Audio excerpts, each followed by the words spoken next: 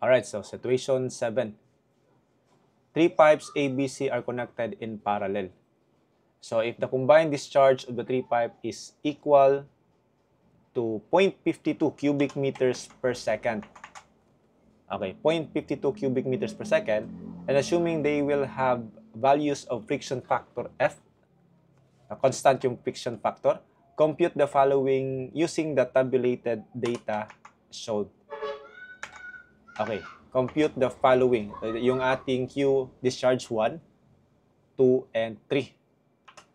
Alright, so yung concept dito is that uh, this is pipes in ano parallel. Okay, so kung mag-inflow dito, alright, inflow, yung Q natin will be equally uh, will be distributed sa three pipes, hindi siya equal. Now, yung concept is that kung parallel yung pipes, yung head loss, bale, energy at first point, energy at the second point at B, yung difference niyan is the head loss. Yung head loss ng tatlong pipes will be equal. Basta parallel. Okay? Then, yung Q1 and Q2 and Q3, yung discharge natin at each pipe, will be equals to the total discharge. Since friction factor yung involved dito, so the formula involved is the Darcy-Weisbach formula using the uh, head loss formula, 0.0826. Pwede kong gawin muna Q in terms of head loss. Tingnan nyo. Q in terms of head loss, that becomes like this. The square root of, ito cross multiply, um, HL over 0.8, uh, 0.0826 FL. Notice that the head loss over the friction is constant. So, okay, for pipes in parallel, the head loss is equals to HL1, also equals to HL2, also equals to HL3. Tawagin ko siyang HLN. While yung Q naman natin, okay, yung Q dyan is uh, the sum of the discharge at each pipe.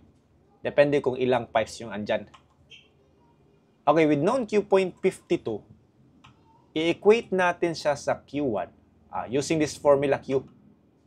So, diameter of first uh, pipe is 0.15. Head loss unknown. Okay, 0.0826 yung L is 650.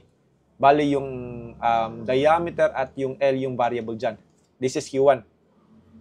Q2 yung diameter is naging 0.2. Yung length naging 550. And Q3, diameter is 0.1. Length is 720. Pwede mo munang kunin yung combined value na yan. Uh, iset mo lang siya sa calculator as X. Yung HL over F as X. Kung makukuha mo dyan is 14946.7. Okay, so after mo makuha yan, ibalik mo siya sa Q. Ibabalik mo siya sa Q with corresponding ano, uh, datas for Q1, Q2, and Q3. So ito yung mangyari. Q1, again, it is, ito pa rin yung formula, a diameter is, for Q1 is 0.15, no? Bale, dito yan ha. Ito yung ating datas ha. Ito, bale, ito yung Q1, Q2, and Q3 ibabalik mo lang yung HF over L dito, Q1, sa Q2 and Q3. O, Q1. Ayan. Ito yung HF over L. Now, itong term yan. So, in liters, Q2. Again, ito yung HF over L. In liters, then Q3. Ito yung HF over L. Diameter and length lang yung nabarying dyan. So, point, uh, 50.1 liters per second. Okay, pwede rin another approach. Pwede rin ganito yung approach natin. Okay, again, the same formula. Alam natin na the same yung uh, kanilang head loss. So, yung head loss 1, gawin lang natin subscript 1, lahat.